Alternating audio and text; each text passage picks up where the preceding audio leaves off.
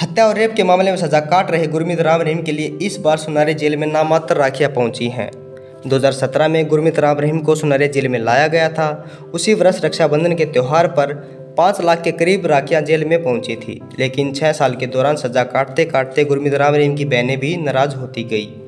पिछले साल की बात की जाए तो एक लाख के करीब राखियाँ गुरमीत राम रहीम के लिए सुनारे जेल पहुँची थी। लेकिन इस बार हज़ार राखियों का ही आंकड़ा पार हो पाया है। डाक विभाग में राखियों की छटनी करने के लिए इन दिनों अलग से कर्मचारी नियुक्त किए जाते थे, लेकिन इस बार कम राखियाँ होने के चलते ज़रूरत नहीं पड़ी।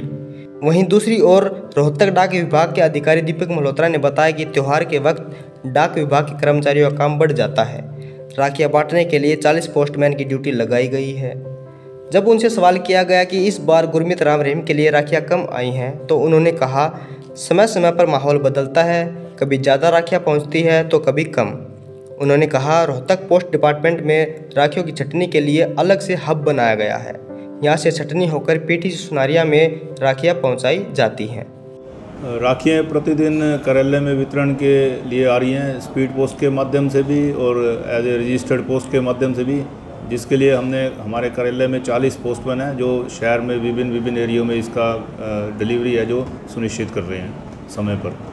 और नेचुरली है, जैसे फेस्टिवल सीज़न होगा, काम तो बढ़ेगा ही, और जो लोगों का विश्वास है, वो विभाग के ऊपर इस समय ज़्यादा है, और लोग चाहते हैं कि हम अपनी जो फैसिलिटी हमारी है, उसको स्पीड पोस्ट की रजिस्टर्ड पोस्ट की, उसको इस्तेमाल करें, ताकि उनकी जो डाक है या राखी वगैरह मेल है, समय पे उनको डिलीवर हो सके, और जो हो भी रही है सब। राखियाँ अभी भी आ रही हैं, उसके लिए हमारा स्पीड पोस्ट शॉर्टिंग हब बना हुआ है कार्यालय में तो उसके माध्यम से वो पीटीसी सुनारिया के अंदर पोस्ट ऑफ़िस की ब्रांच है, वहाँ पर प्रतिदिन भेजी जा रही है।